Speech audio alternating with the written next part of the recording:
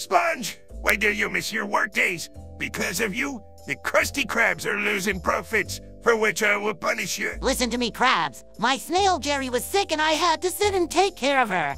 I just don't have time to work. I don't care about your problem, Sponge. I'll tell you again.